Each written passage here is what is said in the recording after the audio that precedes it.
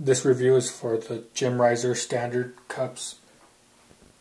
These cups are discontinued on Jim's website. They sold brand new for $250. Um, these are solid copper cups. They're five and a half ounces a piece or a little over a pound for the entire set. Um, they're three inches tall. The opening is about three inches the inside, you can't see it, but it is Jim's hallmark, his signature stamped on the inside of every cup. These cups have the one shoulder bead. When stacked, they kind of have an offset stack to them, which is the way Jim made them.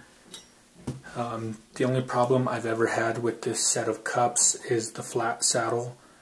Um, if you take a ball and you place it there, it does not automatically center itself like the penguin cups that have the the rounded saddle. Um, so that's the only issue that I have. So when I'm trying to use a wand to do a tilt move, it doesn't necessarily catch, as you can see just by running my finger across it.